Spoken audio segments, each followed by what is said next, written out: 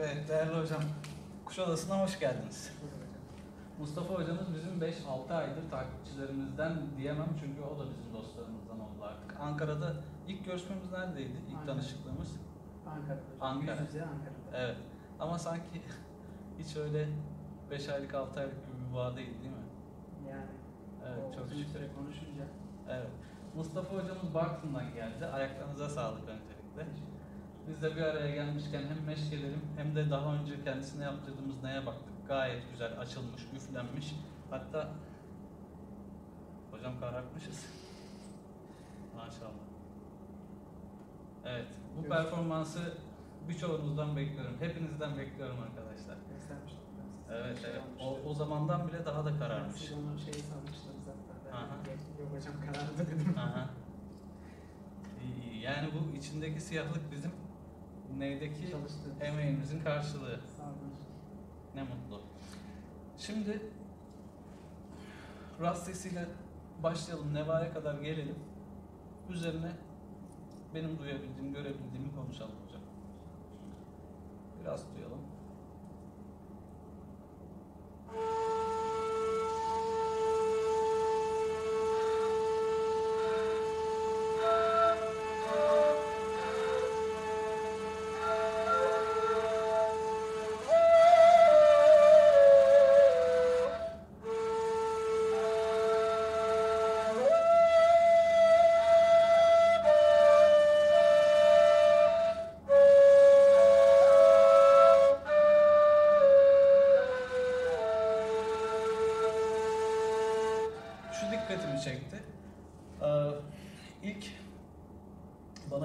Gönderdiğiniz kayıtlardaki tonla şu anki ton arasında ciddi bir fayda var. Ciddi bir fark var. Bunun sebebini sizden duyabilir miyiz? Hocam her gün düzenli olarak ton çalışmak. Bu her seferinde ton çalışalım arkadaşlar, ton çalışalım arkadaşların mükafatı bu. Değil Ama mi? tabii bir anda böyle direkt rasttan üfleyemiyorum da hani nevadan O çok normal. Şu an ben de kaba rastı mesela hemen çıkaramam. Onu kolaylık için ne yapmam lazım? nevadan gidiyorum. Yani yegahtan inmem ya da nevadan rastladım gelmem Evet, lazım. O şekilde tabii. Hiçbir problem yok ama benim samimiyetle söylediğim, söyleyeceğim ve mutlu olduğum bir şey var. Ton çok güzel bir seviyeye gelmiş. Yani şu an e, bu sesi duyan birisi, bilmeyen birisi bunun flüt olmadığını anlar. Hani o flüt, kaval ve neye doğru geçen bir e, geçiş süreci var ya. Evet. O flütten çıkmış, kavala uğramıyor artık böyle? Evet inşallah. Bence aynı ama e, Mustafa hocamız bu arada hocam diye hitap ediyorum çünkü Mustafa Bey çok kıymetli bir din görevlisi. Onun için arkadaşlar hitabımın sebebi o. E, günlük hayatta da çok sık telefonla görüşüyoruz. Hitabımız öyle olduğu için onu açıklamak istedim. Karşılıklı hocam hocam diye konuşmamızın sebebini açıklamış olayım. E, rast sesi duyduğum zaman sizin çalıştığınızı söylediğiniz, ton çalıştığınızı söylediğiniz karşılığını bulmuş olduğunu hemen anladım ve sohbet esnasında da dedi ki Mustafa Hocam günde her gün kaç saat çalışıyorsunuz hocam? En kötü bir saat. Süper. Harika. Yani her gün vakit ayırmak zaten bu iş için kafi. Bir de bir saat olması, bir buçuk saat olması ve siz hiç sıkılmadan üst ton, tonsuz çalışmışsınız ki işte nihayeti önemli benim için, sonucu önemli. Çok güzel. Şimdi e, Neva'dan Rast'a inelim. O arada e, belirtmek istediğim bir şey var. Bu birçok arkadaşla gözlemlediğim bir şey. Neyi çok sıkıyoruz? Neyi biraz daha serbest bırakalım? Ve bunu da nereden anlarız? Şu parmağımızın arkasında iz kalıyorsa arka perdenin işte demek ki hocam yakaladım. Sıkıyoruz. Yakaladım. Ben e, genele hitap açısından söyledim. Si- Sizin e, tutuşunuza bakarak söylemedim ama yakaladım. Sizin de arka parmaklar. Arkadaşlar şurada perdenin o izi varsa elinizde neyi o kadar sıkmanıza gerek yok. Eğer neyi sıkıyorsanız zaten e, kaslarınız gergin demektir. O nefesinize kadar, diyaframınıza kadar yansır. Ha bu parmağınızı neyi sıkmışsınız burada yüz olmuş. Ha diyaframınız gerilmiş, sıkılmış. Onun için lütfen dikkat edin. Bu bir farkındalıktır. Bu farkındalıkla üflerken takip edin kendinizi. Ne? Sadece kavrayacak kadar Yani hakimiyet kurabilecek kadar. Neyi sıkmayın. Ve bununla beraber yine önemli bir detay. Perdelerin kapandığından emin olmamız lazım. Hani bazen denk geliyordur muhakkak. Bir çıkıyor bir çıkmıyor gibi oluyor ya ses. Bunun sebebi perdelerin tam manasıyla kapatılmamasıyla alakalı.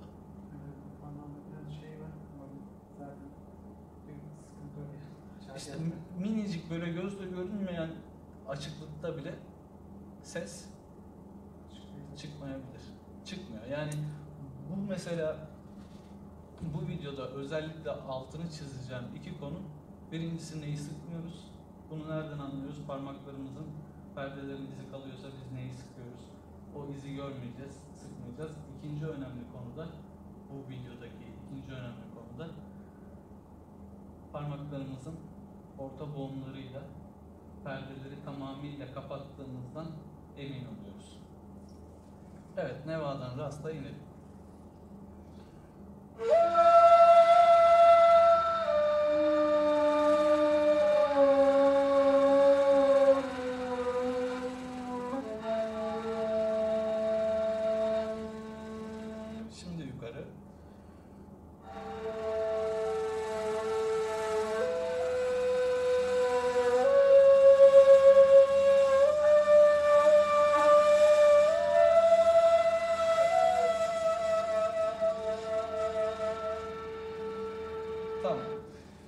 Segah Peşrev aklımızda mı?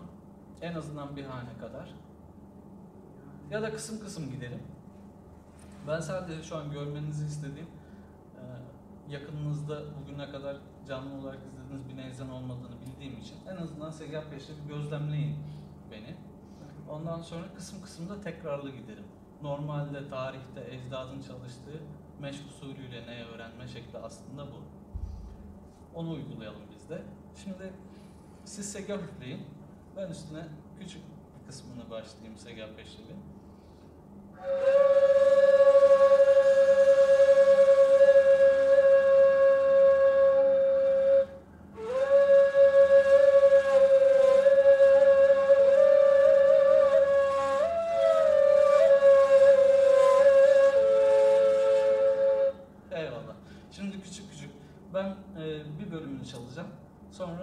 Siz aynısını yapmaya çalışın.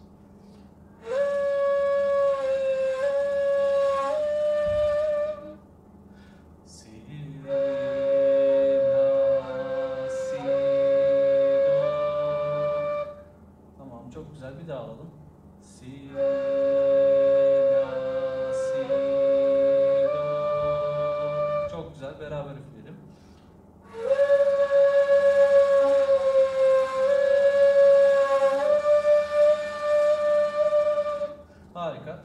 Bu arada parmaklarımın görünmesi için ben kameraya yaklaşacağım. Aynı şekilde bu kısmı dönelim. Si, la, si, do, si, la, si, do. Beraber yapalım hocam. Si, la, si, do. Tamam. Şimdi bizi izleyen arkadaşlar için son 2, 3 ve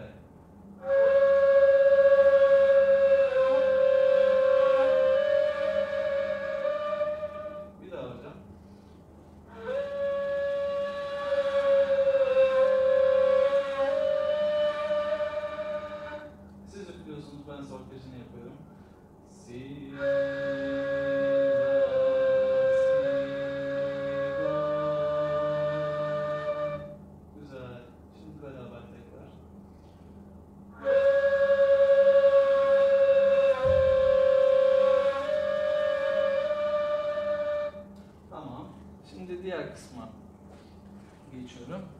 Diğer kısım si re do si la si sol. Uzun mu oldu? Si re do si la si sol. Tabii tabii. Buyurun. Mustafa Bey'in notasıyla çalışmaya arzu ettiği için notasını almaya gitti. Bazılarımız kulaktan, bazılarımız nota olmadan icra edemeyebiliyor. Onun için notaya aşinalık da çok önemli. Notadan haberdar olmak da çok önemli.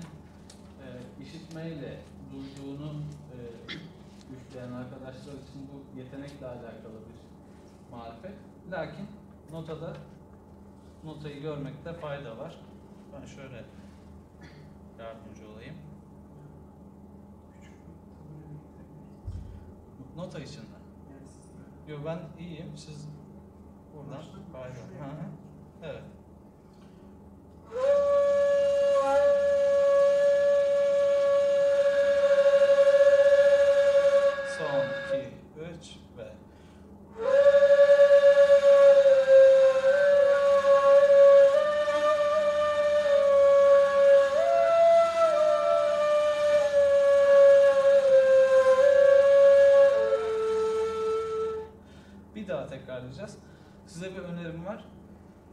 Ee, metronomla çalışmak sizin için çok faydalı olacak. Metronom sayacak. Telefonda hemen bir uygulama, metronom uygulaması. Tamam, Ama onunla, şey onunla çalışmak. Yani bunu hız, e, tartımları daha yavaş da ayarlayabiliriz. Yani şu şekilde de olabilir. Si, la, si,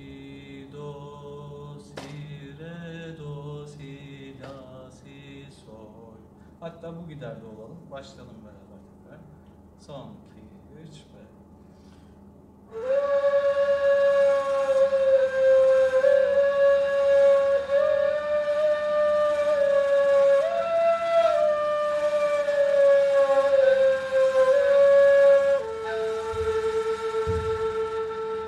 Çok güzel. Gözlemlediğim şey, şeyi size söylemek istiyorum. Şu kısımda perdeleri komple kaldıracağız. Geçişlerde problem oluyor. Şu. Segah perdesine bastığımız zaman şu e, orta parmakla destek alıyoruz tamam ama e, zaten kavramamız çok zor değil bu pozisyonda. Perdeleri açık bırakmak için ve perdelerin geçişlerinde zorlanmamak için size de önerim budur.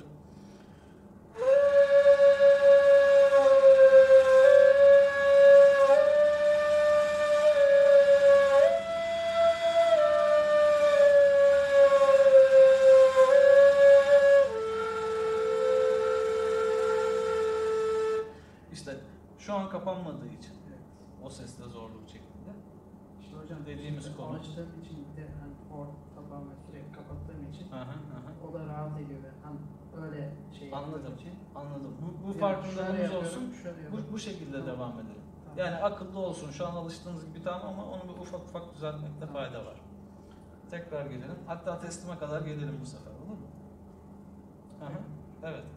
Son 2 3 Oh.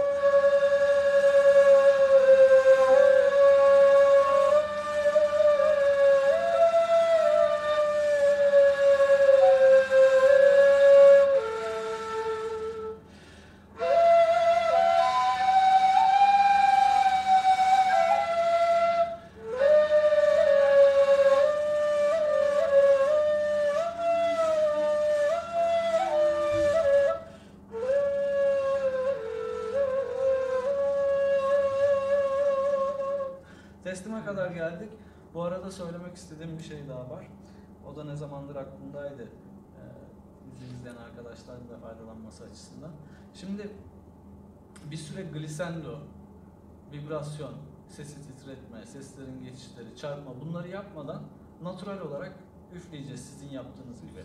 Evet ama bu arada da bir şeyin hazırlığı için ufak ufak emek vermek, egzersiz yapmak lazım. O da şu, perdeler arasındaki geçişlerde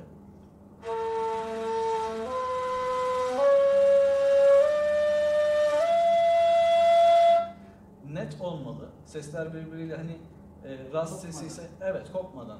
Ben onu elimde bir iple ya da kabloyla örnekliyorum. Hani sol la değil böyle sol la si do re işte bunun aynısını neydi örneklediğim gibi yapmak icap ediyor. Bunun için artık ahenk kısmına geçmek için hani tavır kısmında ufak ufak yol almak için egzersiz de şöyle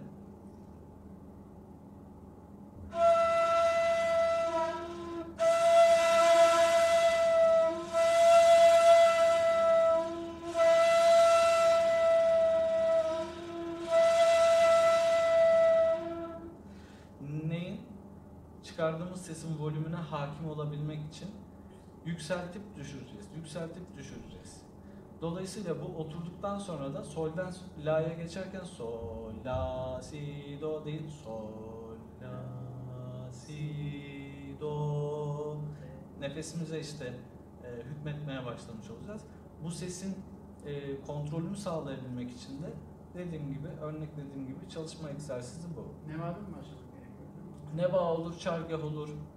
Mesela şimdi segah üzerinden yapayım.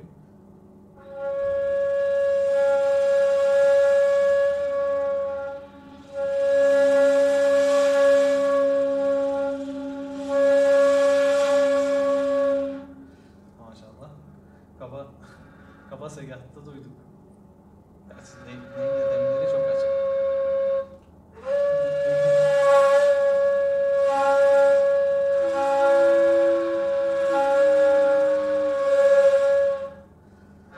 Yani bir balonu şişirip nefesi geri çekmek gibi yani sese hükmetme egzersizi. Aynen öyle. O bizim hakimiyetimizde olacak. Bizim istediğimiz zaman sesi keseceğiz. Bizim istediğimiz zaman volümü yükseltebileceğiz. Bunun için de çalışma egzersizi örneklediğim gibi. Evet arkadaşlar e, sizinle olan kısma burada ara veriyoruz. Çünkü biz şimdi Mustafa hocamla eseri meşk edip tavırla alakalı, glissando ile alakalı kısma geçeceğiz. Sizi bugün bilinçlendirmek istediğim, size belirtmek istediğim üç detay oldu. Birincisi neyi sıkmıyoruz, parmaklarımızda perdelerin izleri kalmıyor. İkincisi perdelerin kapat, kapandığından emin olmamız gerekiyor. Bunu fark etmiyoruz bile. Az önce mesela siz rast sesine geldiğiniz zaman ben boşluğu gördüm orada, sesi yakalamaya çalışıyorsunuz. Halbuki par- parmakla alakalı. Onları kapattığımızdan emin olacağız. Üçüncüsü nedir? Üçüncüsü de ton çalışacağız. Glissando, vibrasyona, hasretinle yandı gönlüme geçmeden Tonumuza ilk önce evet, ilk önce ney sesini alacağız ve perdelerin geçişlerinde rasttan dügaha geçerken, dügahtan segaha geçerken daha böyle da, o duyguyu verebilmek için nefesin kontrolüyle uğraşacağız. O nefesin kontrolünü ayarlamak için de iki defa size örneklemiş olduğum egzersizle dediğim, anlattığım kıvama yaklaşmamız mümkün.